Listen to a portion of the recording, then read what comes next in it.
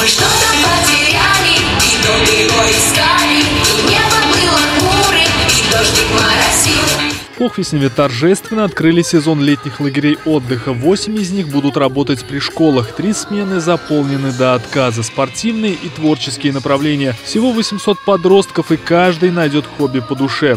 Работает э, опытный педагогический коллектив, подобран то есть по всем требованиям. Э, Проводятся интересные мероприятия, я их посещаю.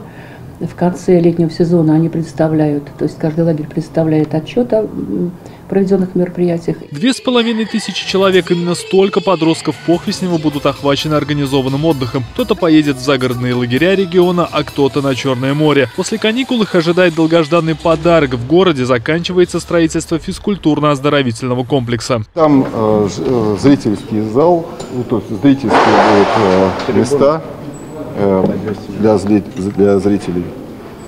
И все. Там раздевалки. Но мы сейчас пройдем, там посмотрим. Здесь будут два бассейна, тренажерные фитнес-залы, универсальная игровая площадка, где станет возможно проводить и танцевальные турниры. Покрытию не страшны даже самые высокие шпильки.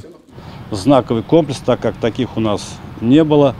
Я думаю, что население это уже ждало более 20 лет, особенно бассейн.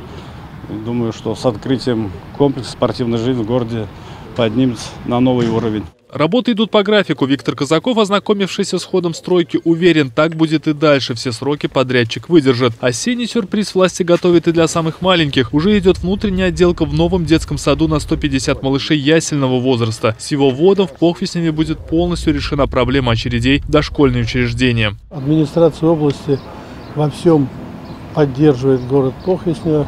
Он э, очень активно и целенаправленно работает в этом направлении.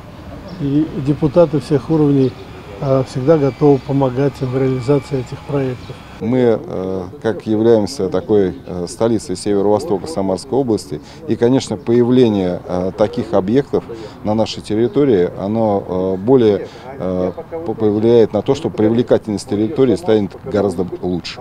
В ближайшее время в Похвесневе начнется еще одна масштабная стройка. Ледовый дворец станет тренировочной базой для собственной хоккейной команды, которая, надеются жители города, появится у них уже в следующем году. Руслан Шарипов, Алексей Гриднев. Новости губернии.